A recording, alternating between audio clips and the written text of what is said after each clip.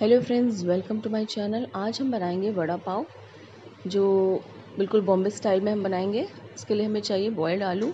जिसको अच्छे से मैश कर लीजिए। थोड़ा सा करी पत्ता और अदरक, लहसुन और हरी मिर्च को यहाँ मैंने मिक्सी में चला लिया है। थोड़ा मोटा पीस लिया है। ये देखिए, करी पत्ता और राई। ये है अदरक, हरी मिर्च और लहसुन। तीनों को मोटा पीसा हुआ है। थोड़ा सा चावल का आटा, करीब दो चम्मच। और यहाँ पर ड्राई चटनी बनाने के लिए हमें कुछ चाहिए। उसके लिए ये है सफ़ेद तिल, लाल मिर्च, थोड़ा सा कोकोनट, ये देखिए वाइट तिल रेड चिली गार्लिक कोकोनट और थोड़ा सा ज़ीरा। ये सारी चीज़ों से हमें ड्राई चटनी बनानी है। यहाँ पर हमने लिया है करीब पाँच बड़े चम्मच बेसन। जो कोटिंग के काम आएगा और थोड़ी सी इमली की चटनी और हरी धनिया की चटनी। तो सबसे पहले हम बनाएँगे ड्राई चटनी, इसके लिए मूंगफली को रोस्ट करना है। आप चाहे माइक्रोवेव में रोस्ट कर लीजिए या आप कढ़ाई में कर लीजिए। अच्छे से मूंगफली को भुनना है। ये देखिए। ये मेरी मूंगफली लगभग भुन चुकी है। इसको थोड़ी देर ठंडा होने दीजिए। अब हम बाकी चटनी का सामान डालेंगे, उसके लिए थोड़ा सा रिफाइंड लेंगे। कोई भी ऑयल आप डाल सकते हैं, बिल्कुल थोड़ा सा आधा चम्मच। उसके बाद सात से आठ कली लहसुन। आप चाहे तो बारीक काट के भी डाल सकते हैं। कोकोनट। आप ग्रेटेड भी यूज़ कर सकते हैं थोड़ा सा ज़ीरा। सफ़ेद तिल। एक बड़ा चम्मच लाल मिर्च। आप साबुत लाल मिर्च भी डाल सकते हैं। और इसमें अब हम डालेंगे, इसको हल्का सा भून कर इसमें हम डालेंगे साबुत धनिया। उसको भी हमें रोस्ट करना है। इन सारी चीज़ों को हल्का सा भुनना है। ये देखिए, ये है साबुत धनिया। इसको भी डाल देंगे और इन सब चीज़ों को करीब दो मिनट हम हल्का सा भून लेंगे। और उसके बाद इसको ठंडा करके हमें पीसना है मिक्सी में। ये देखिए, हमारा ड्राई चटनी का मसाला भुन चुका है। अब हमें इसको ग्राइंड कर लेना अच्छे से। आप एक, ये देखिए, मैंने यहाँ पर पीस लिया है। मैंने मूंगफली को भी साथ में नहीं पीसा क्योंकि मेरी क्वांटिटी थोड़ी ज़्यादा थी। अब हम अलग से मूंगफली को भी पीसेंगे और इसमें मिक्स करेंगे। आप चाहे तो मूंगफली को एक साथ पीस सकते हैं। ये देखिए, हमारी मूंगफली भी पिस गई है और इसको अब इस ड्राई मिक्सचर में अच्छे से मिक्स कर देना है। ये हमारी ड्राई चटनी तैयार हो गई। इसमें थोड़ा सा नमक डालेंगे।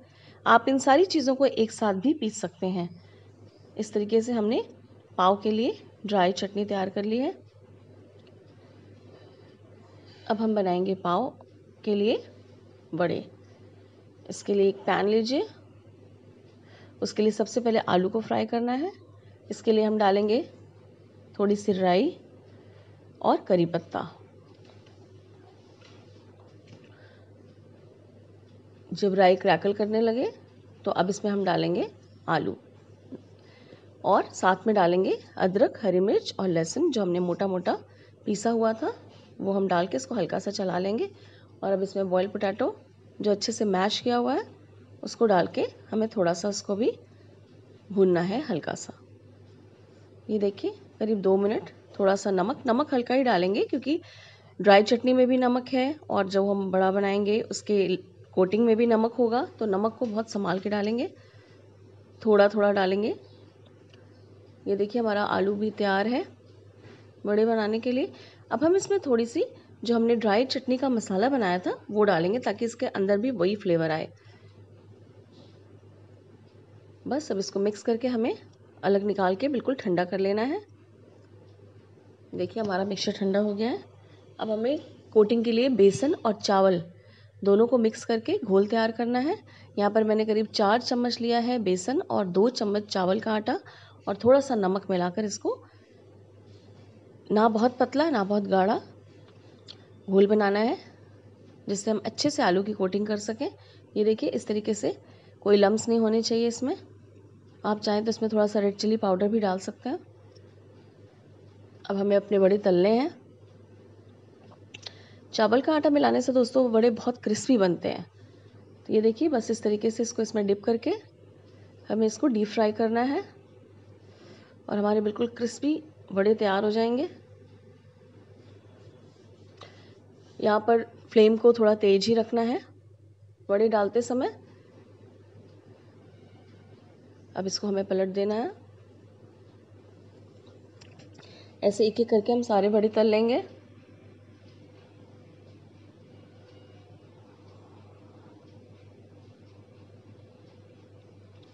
ये देखिए, मैंने यहाँ बड़े तल लिए हैं। दोस्तों, ये बहुत ही टेस्टी स्नैक है और बच्चों को बहुत पसंद आता है। ये देखिए, हमारे बड़े बन गए हैं। अब हम थोड़ा सा बेसन को ऐसे ही ऑयल में डालेंगे ताकि इसके छोटे छोटे हमें बिल्कुल क्रिस्पी बूंदे मिल जाएँ। ये देखिए, ऐसे बेसन को आप चम्मच से डाल सकते हैं ऑयल में। और ये जो क्रिस्पी बेसन तैयार होता है, इसका एक अलग ही फ्लेवर आता है बड़े में, जब हम डालेंगे। इस तरीके से मैंने थोड़ा सा बेसन को निकाली अब चलिए पाव को बीच से काट लेते हैं और इसमें हरी चटनी लगाएँगे। अच्छे से दोनों साइड में हरी चटनी मिक्स करिए और थोड़ी सी इमली की चटनी। अब हम इसमें अपने बड़े रखेंगे और जो ड्राई चटनी का मसाला हम हमने बनाया था, वो अच्छे से इसमें डालिए। दोनों साइड में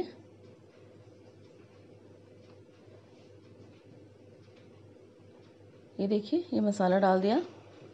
अब हम इसमें थोड़ा सा इसको और इसको, इसके फ्लेवर को बढ़ाएँगे, जो हमने बेसन की छोटी छोटी लच्छे बनाए थे, वो डालेंगे और महीन वाली जो ज़ीरो नंबर की सेव आती है, बेसन की, वो डालेंगे और थोड़ा सा चटनी और ऐड करेंगे ऊपर।